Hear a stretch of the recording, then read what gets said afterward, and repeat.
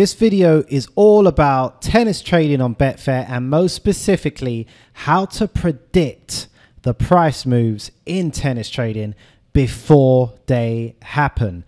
This is going to be really, really good. We're coming up in this video. I'm going to show you the tennis odds prediction formula. So how you can predict the price moves, movements in tennis with no software, no fancy spreadsheet, and not even a calculator. You don't even need a calculator for this. It's actually that simple. And I'm going to show you some real life demonstrations to back this up. And of course, give you ideas of how you can profit from this. So let's get into it.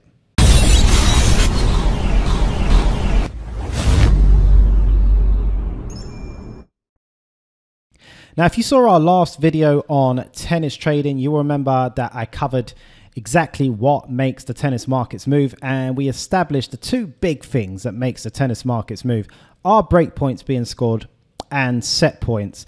Now, break points probably the, the, have the biggest impact, but set points are pretty crucial too. So, of course, if we can know where the prices are going to be after a break point is scored or after a set point is scored, then it's going to be pretty useful information. So, of course, I mean, why would you want to predict the moves? Now, you could plan your trades in advance. You could, using this formula, look at the starting price of the favorite and know based on the formula that after he scores a break point, we know where his price is going to be. And if he wins the set, we know his price is going to be. So we can decide on what trade we're going to do. Are we going to back that favorite? Because then we're going to know how many ticks we can win if we were to back that favorite. And of course, if we wanted to lay that favorite, we know how many ticks that we are risking if he was to go and score a break point or to win the set. And of course, you can use that information in play as well. And of course, it does help. You always want to know your worst case scenario. When you are trading sports, you always want to know your worst case scenario. And at the same time, this formula can actually help you spot opportunities because from time to time, the markets can overreact to stuff.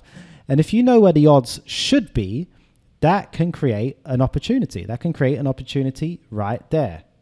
But before we go any further, I do want to quickly stress that this formula is only really applicable to free set matches only, uh, the, the best of three format, which is found in most tennis matches, apart from obviously the Grand Slam matches where men's matches are best of five. So don't use this formula on the best of five as it's not as accurate but it is pretty accurate on the free set matches. So you might be thinking, how is this even possible? How can you predict the price moves in a, a, game like tennis, in a sport like tennis? If you try to predict the price moves on another sport, you know it is very, very difficult, whether it's pre game or in play.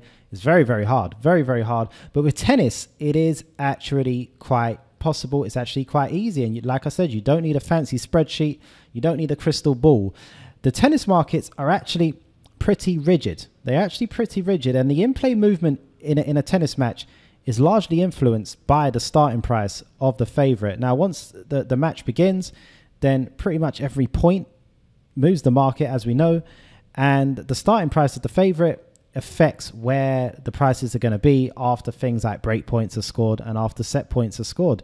And it's pretty simple to then work out where the odds are going to be, as you're going to see when we get into the formula.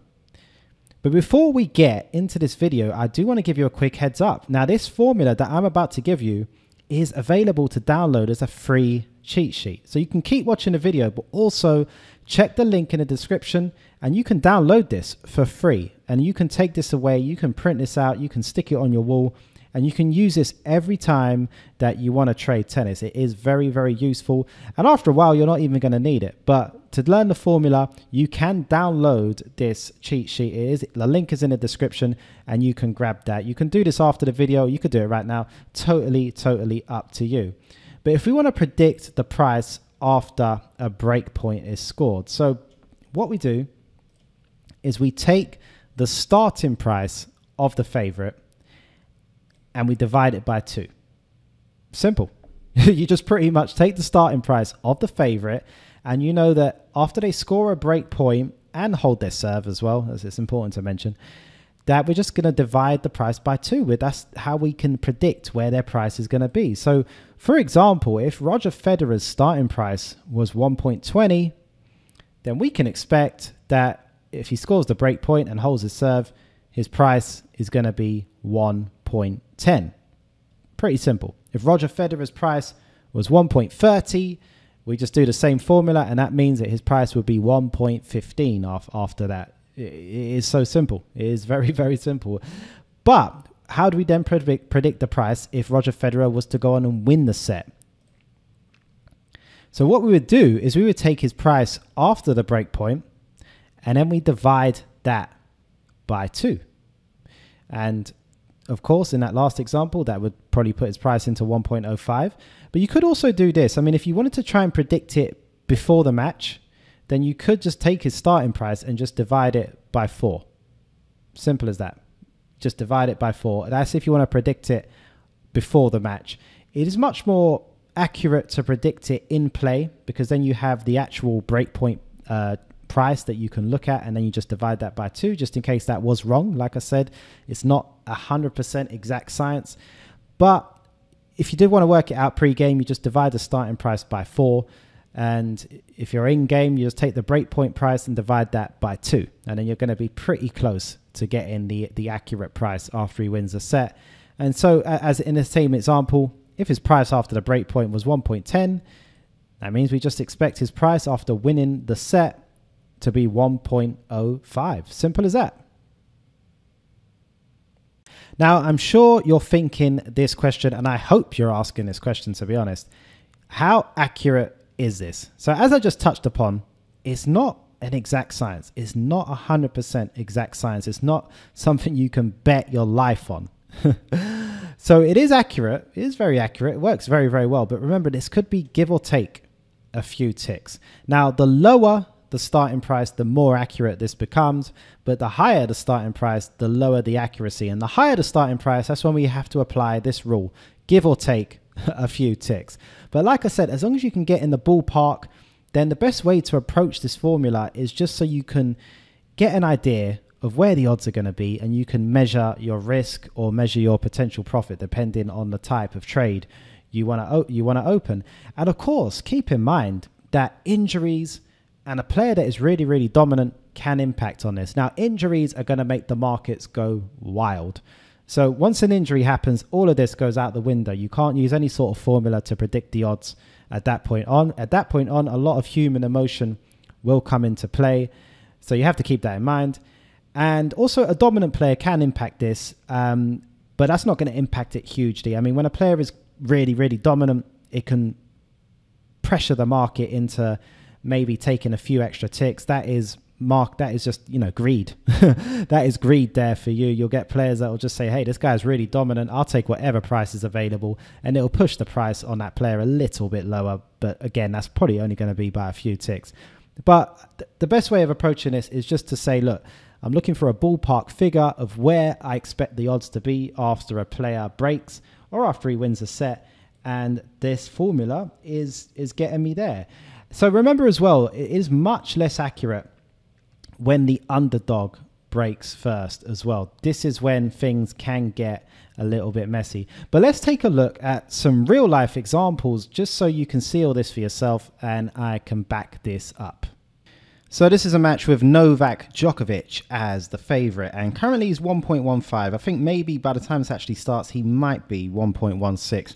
But either way, I, I would say uh, after his first break point, currently based on this, he probably, or he technically should go into 1.07 and a half, right? But obviously that doesn't exist, so it's probably going to round down, and he's probably going to be available at 1.07 after the first break point, and then half of that if he wins the first set, could be 1.03, 1.04. So around that. But anyway, let's let this match go and play, and then we'll see where the odds go after the first break. And there we have it. So Djokovic has broken, and his price goes in to 1.07 and 1.08 to lay. Obviously, I mean, they're going to fluctuate. The prices do fluctuate depending on the action. Dol Gopolov, if I pronounced that correctly, he is now serving. Um, so, you know, the prices are going to move around. But like I said, that we're looking for the worst case scenario and we worked it out as it's going to, the price is going to touch uh, 1.07. Uh, let me just have a look at this. So it hasn't actually traded at 1.07 according to this, but we had a lot of money matched at 1.08. But uh, like I said, we're doing this to work out our worst case scenario, and there we have it. Our worst case scenario was if Djokovic broke and held 1.07, and it pretty much hit 1.08. But anyway, there, there's just an example of predicting the price move um, based on the starting price. And so we saw that Djokovic, after he broke, his price was 1.08. And then we can work it out that after he breaks, his price, if he goes on to win the set, is going to be half of that. So uh, 1.04. And it's exactly pretty much where it's landed up. Bit of uh, market pressure forcing that into 1.03. But it's, it's pretty much there. Uh, very straightforward set for Novak Djokovic. And as you could see, that's pretty much how you work out where the odds are going to move to, um, and you've seen it there uh, in, before your very eyes. so uh, yeah, Djokovic, very comfortable first set. We saw his price move in 1.115 at the start, but he did kind of start at 1.16, which was why his price did move into 1.08 after the first break and then it's actually gone into 1.03.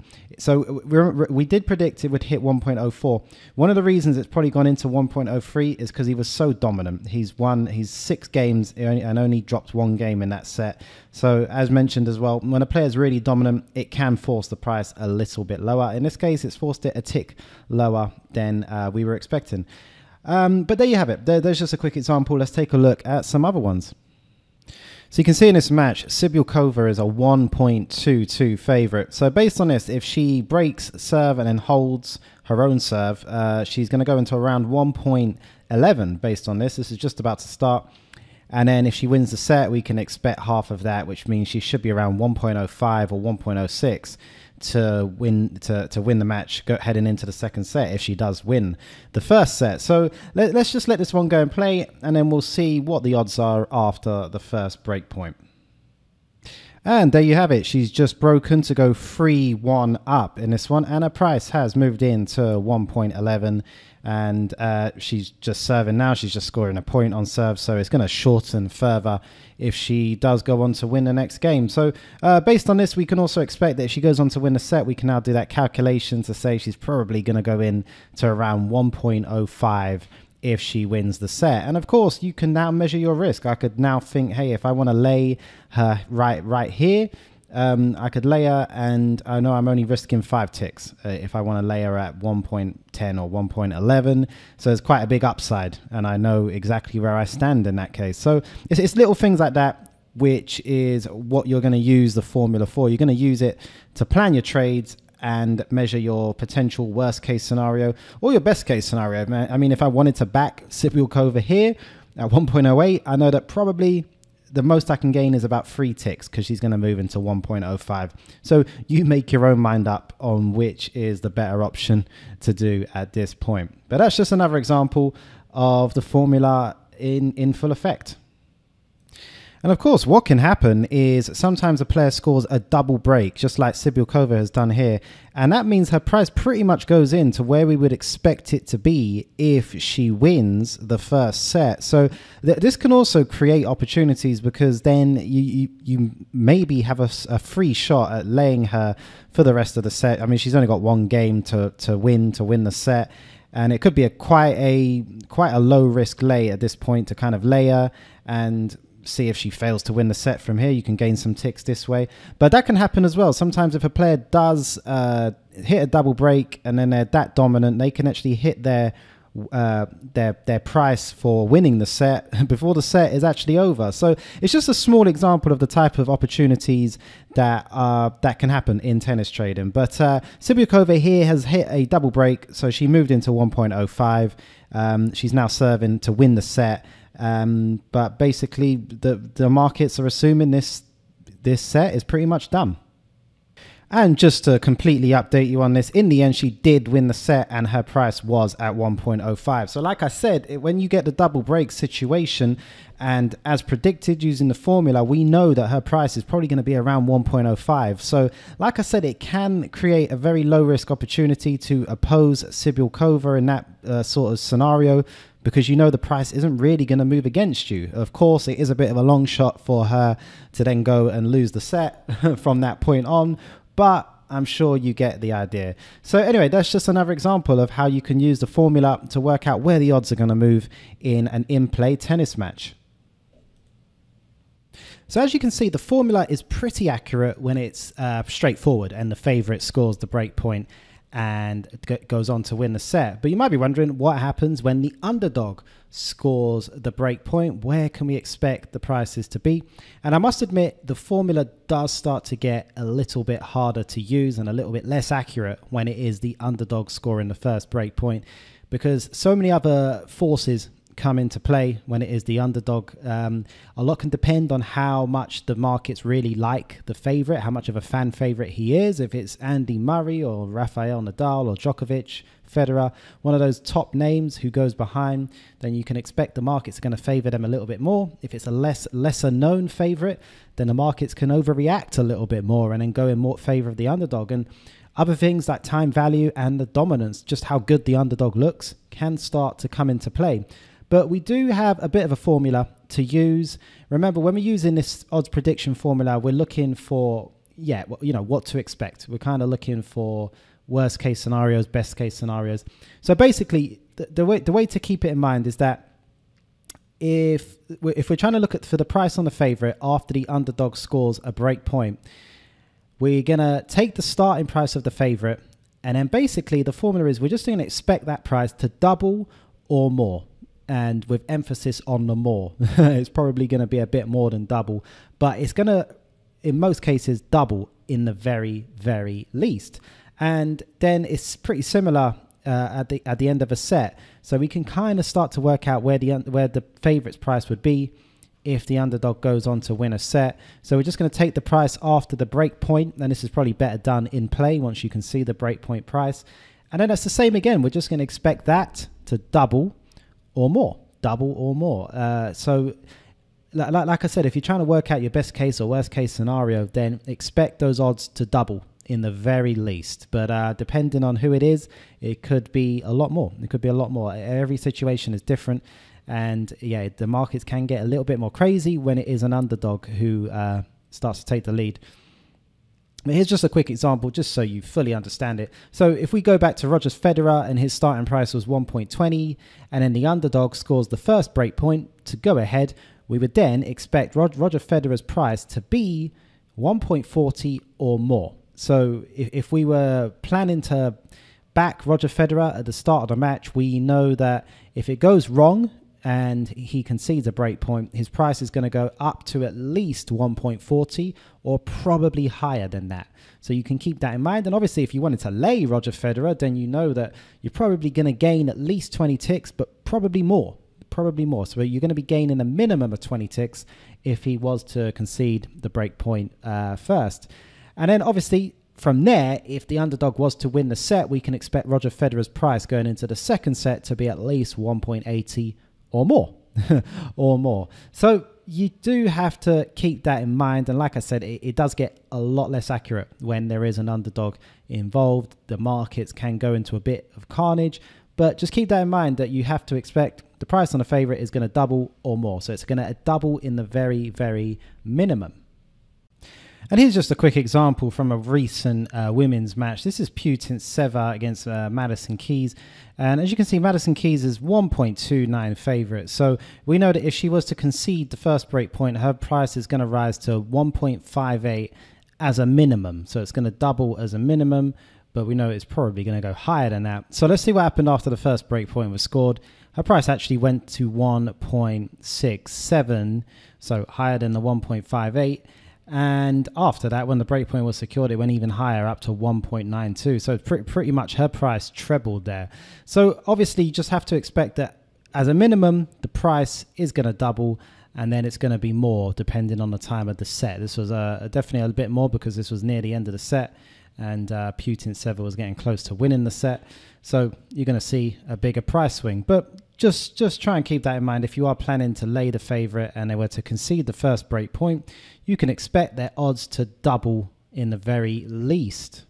So let's just run through the odds prediction formula once again. If we want to work out the, the, the price on the favorite after they score a break point, we just take their starting price and divide it by two. And of course, if we want to work out their set point price, we just take the break point price and divide that by two. Or if we want to work it out before the match, we can just take their starting price and divide it by four. So you could do this before the match and note it down so you know where you expect the prices to move. Or if, you, if you're doing this on the fly and you notice the, the player's just broken, you can just divide that price by two to work out where the odds are going to move to next. And of course, you, you could do this on the flip side by knowing that once they've hit that breakpoint price, if they are broken back, they're going to go back to that starting point price.